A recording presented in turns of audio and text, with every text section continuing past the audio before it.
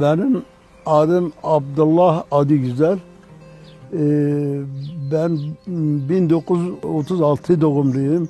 Herhalde 85 yaşındayım şimdi. Van Gevaş ilçesi Aladüz kö- köyü. Ben tam doğduğumdan beri ben bu köyde yaşıyorum. Bu korona tam e, burada benim yeğenimin hanımı iki ay evvel koronada gitti. Vallahi 90'lı yıllardan çok eksik idi. Biz gidip orada kurukta bekliyorduk, doktor bulamıyorduk, e, çok eziyet çekiyorduk. Sağlık ekibi ilkinde bana telefon ettiler.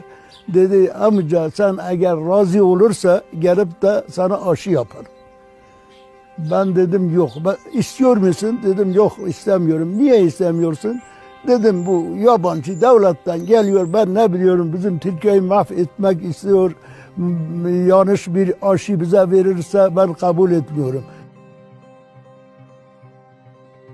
Tekrar bana telefon ettiler. Yine dediler ben dedim ya eğer ki bizim Cumhurbaşkanı Sayın Tayyip Erdoğan kabul etmişse, o kabul etmişse isterse nasıl olursa ben yaparım. Ondan sonra benim evime geldiler, o hanım kızlar geldi. Benim evimde hanımımı aşı yaptılar.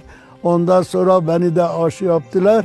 Gittiler. Kaç, e, bir ay kaldı tekrar geldiler. İkinci seferde aşı yaptılar. Allah razı olsun onlardan.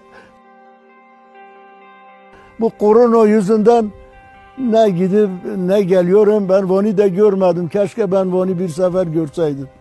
Bırakmıyorlar. Korona bırakmıyor. Ben hasret kaldım. Benim e, oğlum e, İstanbul'daydı. Her sene bir sefer gidip onları ziyaret ediyordum. İki senedir hasret kaldım. O da kaldı bu korona yüzünde. E, Cenab-ı Allah yardım etsin bizim devletimize. Ne yapalım? Ee, onların elinde değil. Allah'tan gelen bir iş. Allah'tan gelmiş bütün dünyayı sarmış. Ne yapalım?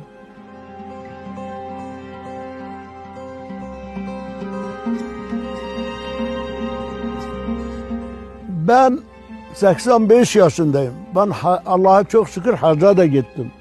Ben o yerleri de gördüm. İran'a da gittim. Diş ülkeye ben gittim gezdim. Türkiye gibi bütün dünyada yoktur, yoktur, yoktur. Türkiye her şeyde, her her devlette iyidir. Bizim Türkiye çok şahanedir. Yeter ki Cenab-ı Allah ile yardım etsin, birlik, beraberlik ola- olalım. Devletimize, e, başımıza gelen adamlar da Cenab-ı Allah onlara yardım etsin, yanlış gitmez. Doğru yoldan devam etse bizim Türkiye gibi hiçbir yerde yok.